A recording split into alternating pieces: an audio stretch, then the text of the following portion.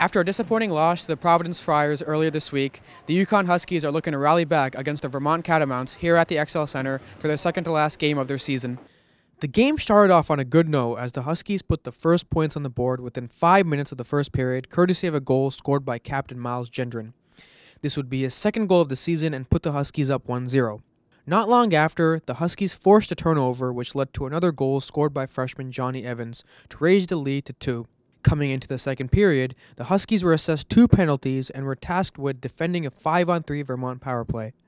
But courtesy to excellent defense on the Huskies side and some amazing saves made by goaltender Tomasz Vomacka, the Huskies were able to push back against the chippy Vermont offense, securing their momentum, which would lead to the Huskies' third goal of the game scored by freshman Cale Howell. Later on in the period, a Vermont penalty would lead to a Huskies power play goal where captain Miles Gendron would set up Alexander Payusov with a beautiful one-timer, which would put the Huskies up 4-0.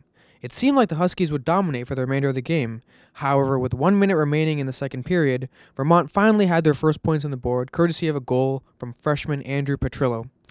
With the third period now underway, Vomacka continued with his outstanding resiliency as Vermont could not land a single shot on goal. Less than five minutes later, UConn's Jonny Evans scored yet another goal to raise the Huskies' lead to four above the Catamounts. This was his second goal of the game, matching his career high and seventh for the season.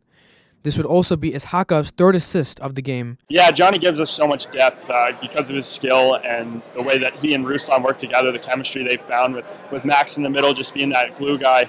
For the remainder of the period, the Huskies maintained their dominance on the defensive side and sent the opposition on their way with a comfortable and much needed 5 1 victory over the Catamounts.